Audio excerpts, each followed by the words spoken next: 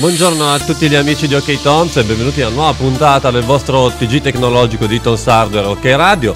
Io sono Robert Tanto e saluto in regia il buon DJ Ste. Ciao. Col quale stavo dissertando fino a pochi istanti fa su una canzone un po' diciamo dance. E gli ho detto ovviamente le mie serate mettiamo cose un po' più cattive. Fra l'altro ne approfitto per ricordare che sabato Vai. saremo nuovamente al bar di Busto Le Monelle, per cui se volete venirci a trovare. Solo bombe ovviamente, hashtag solo bombe, un po' di, un po' di techno, un po' di elettronica su, tanto per eh, fare qualcosa di diverso dal solito. E ne approfitto subito eh, per rispondere al nostro lettore, anzi ascoltatore, spettatore, perché lettori sono quelli che ci leggono su Tonsardo, giustamente. Qua invece ci guardano, guardano i video su YouTube e commentano e scrivono eh, Buongiorno Tonsardware, buongiorno, sono il signor Tonsardware, va bene. Sono un giovane youtuber e vorrei chiedere come faccio ad entrare nella community di Tom Star. Grazie Darkinux. Bene, eh, per entrare nella community di Tom Hardware eh, bisogna inviare un assegno al sottoscritto di svariate migliaia di, di euro. No, ovviamente si scherza. Ma eh, abbiamo un modulo precompilato con, eh, che- con la richiesta di informazioni sul vostro canale, chiaramente. Quindi eh, ci, ci dovete dare tutti i dettagli re- relativi a numero di iscritti, tipologia di- del canale, nome, link ovviamente per dare un'occhiata. E grazie a questo modulo appunto possiamo poi eh, a valutare la vostra richiesta di adesione al nostro network che ovviamente conta su tantissimi youtuber eh, eh, noti e meno noti chiaramente vabbè ci sono quelli da mezzo milione di iscritti in su ma anche quelli più eh, alle prime armi chiamo come me ad esempio che io sto veleggiando sopra i, verso i 100 iscritti ma a 100 faremo un grande, una grande festa tra l'altro ci stiamo avvicinando anche alla centesima puntata di OK Toms lo sai DJ Ste? Eh? Ah, sì? Centesima Quante ne puntata. mancano? Venerdì facciamo la centesima puntata. Ma qua facciamo una festa. Eh, infatti hanno commentato su sempre su YouTube dicendo ma farete qualcosa di speciale? Eh, certo. Beh sì, porteremo le torte e i pasticcini, quindi se volete venire... E bombe. Solo bombe Ma- ovviamente. ma che non, non bombe. Non bombe a mano bombe- per fare la guerra, ma bombe di, ecco, faremo una puntata con bombe di musica elettronica per far scappare tutti quelli di, di Techno City che ospitano i nostri Bravo. uffici. E adesso veniamo al dunque di questa puntata che ci stiamo già dilungando tanto. Di che cosa vi parlo? Oggi vi parlo di una notizia di Nintendo che ha fatto un annuncio shock, ha deciso di scendere in campo, eh, ma non nel senso politico, ma nel mondo dei videogiochi mobile. Quindi Dopo essersi estraniata per anni da, da smartphone e tablet, adesso collaborerà con un'azienda giapponese per creare giochi mobile. E poi che altro? Vi parlerò di una stampante 3D creata con una pistola per colla caldo e i pezzi di Lego, davvero un progetto che potete replicare anche a casa vostra. E vi parleremo della nostra recensione dello Zenbook UX305 firmata dalla mia collega Elena insieme ai colleghi di Laptop Mag e direi di partire proprio da questo, dalla prova d'uso di, questi, di questo Zenbook eh, UX305 uno dei migliori, ecco potete vedere anche un'immagine o qualche immagine, abbiamo diverse immagini da farvi vedere, è uno dei migliori ultrabook in circolazione, semplicemente abbiamo testato a un prezzo interessante, leggero, sottile, comodo da usare, eh, davvero tanti pregi per questo, per questo ultrabook che ricordiamo è un termine che identifica quella tipologia di computer portatili molto molto sottili e molto ultra portatili per così dire. E la mia collega Ele- Elena dice che il peso non è da record se proprio vogliamo trovare il peso e il pelo nell'uovo. Perché sia il MacBook da 12 pollici, quello nuovo presentato da Apple, sia il nuovo XPS 13 di Dell lo dimostrano. Però in questo caso si parla di 1,17 kg, che comunque cioè, è veramente molto poco. Cioè. E un altro diciamo difetto è che purtroppo ha un materiale che, ecco qua potete vedere lo spessore, le, le conne- la, la- la connettività, tutte le varie porte. Un- il materiale purtroppo eh, lascia impresse le dita, quindi se lo smaneggiate, ok, questo è un piccolo difetto. L'alluminio che se se lo se lo si tocca rimangono le impronte digitali, purtroppo. Però tutto il resto è davvero di, di spessore, ci sono tasti ampi 16 mm, ben spaziati 3 mm, e con una corsa morbida, nel, nel senso che è, è facile da digitare, è comodo. Ecco qua invece abbiamo visto anche brevemente un piccolo pezzo del prossimo articolo. Però vabbè, eh, ritorniamo appunto al- sullo- sull'Ultrabook di Asus, davvero che eh, davvero tanti, tanti assi nella manica, tante opzioni di connettività, il touchpad eccellente, una superficie reattiva, quindi è molto facile fare selezioni o tracciare le gesture multitouch magari con eh, due, con uno più diti, uno più dita, cioè davvero, dopo questa posso chiudere tutto. Bene, eh, so, un refuso, ho scritto male qua, volete, se volete controllare. Bene, andiamo avanti, andiamo avanti.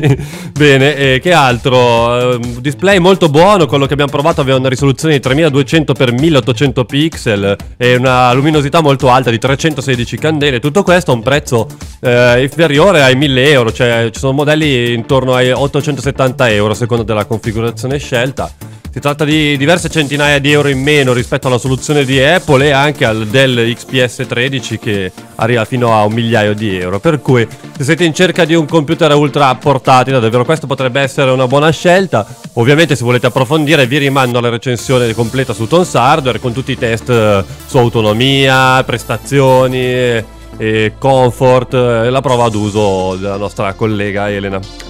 Andiamo avanti, adesso ritorniamo al mondo dei videogiochi, un mondo a me chia- molto caro, oggi, cioè, un mondo a me chiaro, oggi veramente non ci sono quelle parole.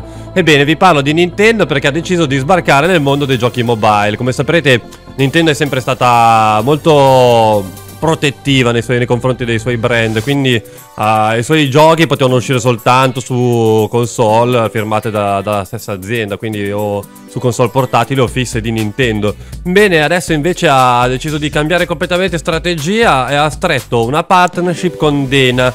Eh, un colosso giapponese proprietario di una delle piattaforme gaming eh, più popolari del sollevante. Grazie a questa collaborazione Nintendo riuscirà a creare eh, giochi indirizzati in modo specifico per smartphone e tablet, proprio ottimizzati per questo genere di dispositivi.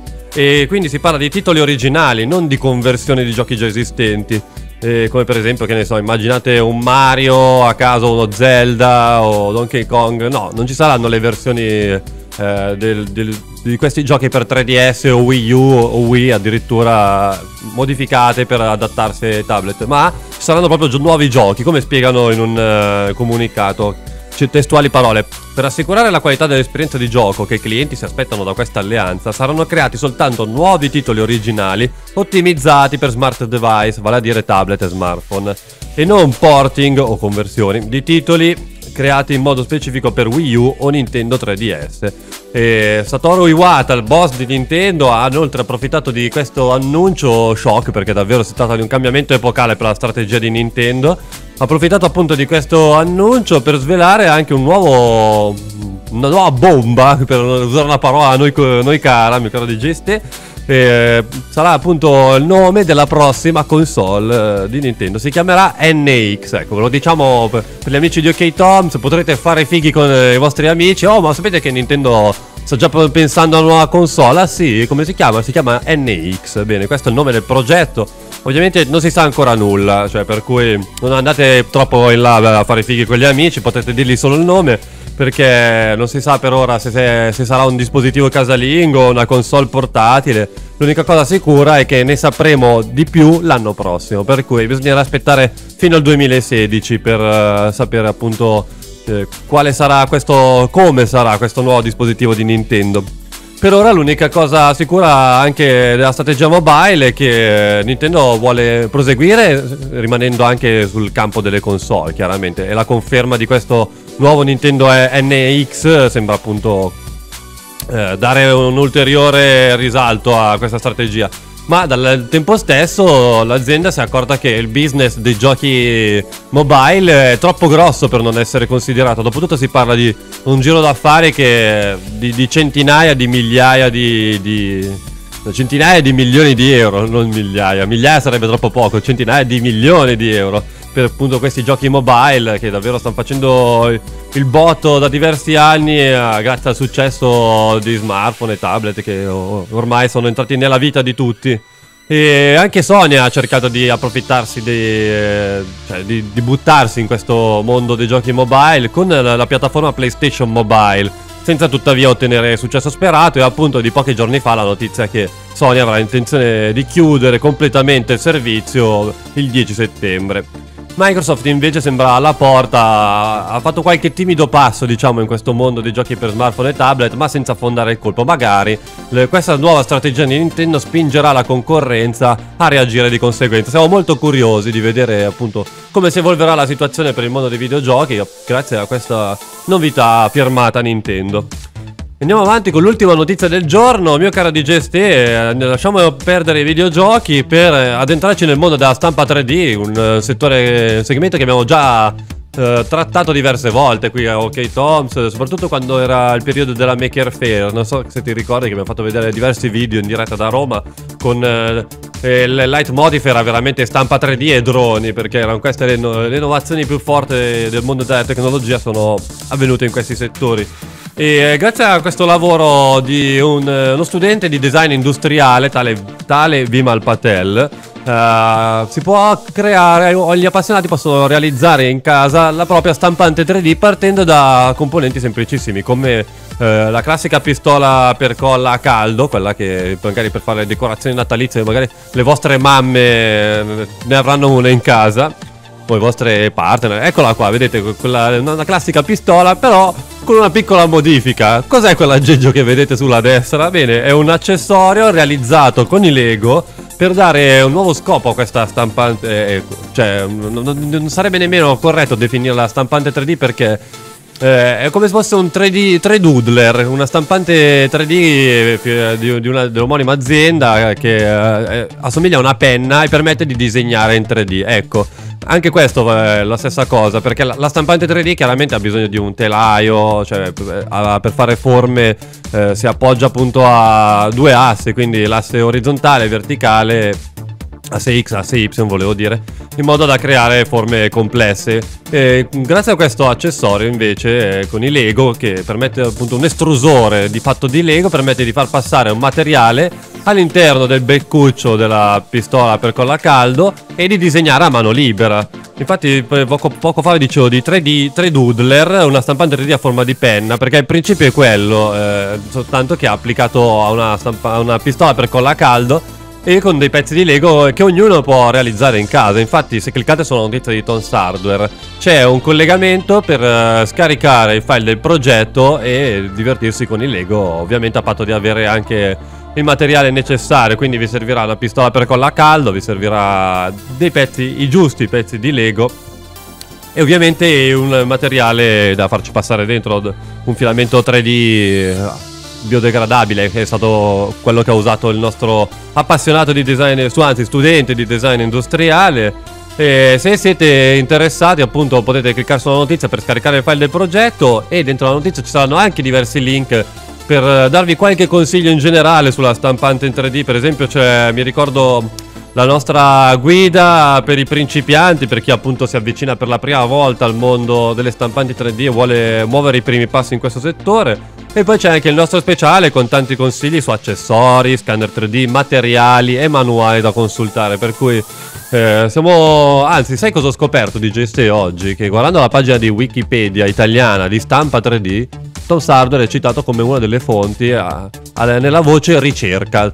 Siamo, ah, hai visto? Bene, perché de, de, nelle notizie che abbiamo scritto io cioè, insieme ai miei colleghi qualche tempo fa sono servite per ampliare la pagina di Wikipedia. Guarda, noi, eh, è un onore per noi chiaramente essere finiti su, su, quelle pagine, ma non è la prima volta che ci finiamo chiaramente con tutte le notizie tecnologiche che diamo ogni giorno. Siamo abbastanza informati su, su questi argomenti eh, tecnologici. Soprattutto la stampa 3D e anche i droni, con il nostro direttore Pino Bruno, un, uno degli esperti di, questo, di questo settore. Noi siamo contenti di darvi queste notizie anche a voi che magari per trasmettervi la nostra passione per questi, queste novità tecnologiche. Io ringrazio tutti i nostri spettatori per essere stati qui con me, ringrazio te DJ Ste e soprattutto visto che non sei passato sabato a venirmi, non sei venuto a trovarmi alle monelle di Busto Arsizio, rinnovo l'appuntamento questo Benissimo. sabato. Ecco. Cercherò di esserci. Bravo, anche se in realtà dovrebbe essere una festa privata, ma credo che vabbè dai. Vabbè, io sono Ste, Eh, con eccezione per DJ Ste, è chiaro. Eh, se, poi metti pure i dischi con me, dai, allora facciamo un, un back to back to back, perché Grande. siamo in tre. Eh, back to back to back. Esatto. Quindi se volete venirci a trovare, siete i benvenuti. E per oggi è tutto, io vi saluto, vi auguro una buona giornata. ciao. ciao. ciao.